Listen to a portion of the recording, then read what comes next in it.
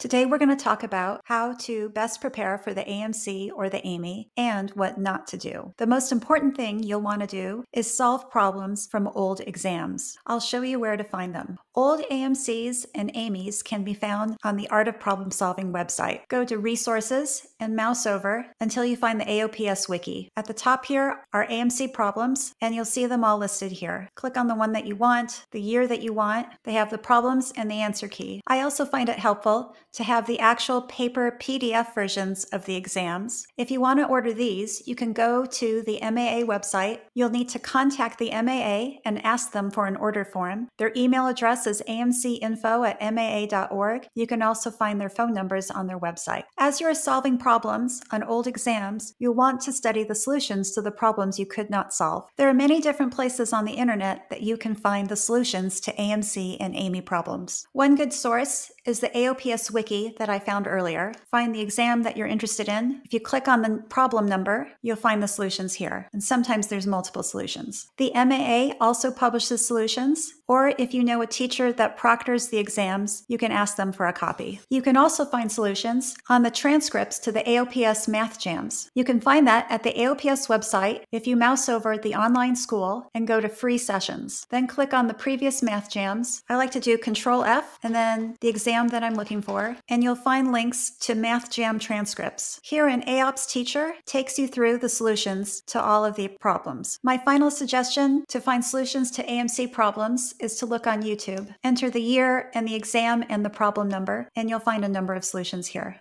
My final recommendation is to keep a notebook of hard problems. The top of each page should include the problem statement of a problem that you found challenging. Write out your own solution to the problem. Once you've figured out the solution, let a week or two go by and try to solve a problem again. Then let a month or two months go by and try to solve the solution again until the ideas in your solution are solid in your memory. Keep adding new problems to your notebook. This is particularly important for AIME problems where the solutions can be long and complicated. Now let's talk about what not to do to prepare for the AMC and the AIME. Don't overthink strategy. Don't spend too much time wondering about cutoffs or other details that are out of your control. And don't waste too much time on the internet. This includes the AOPS discussion boards, Discord servers, Reddit threads. It may feel like you're preparing for the AMC, but it's really a waste of time. While you're online, other students are actually solving problems and adding to their problem solving experience. So get back to studying problems and good luck on the AMC and the AIME.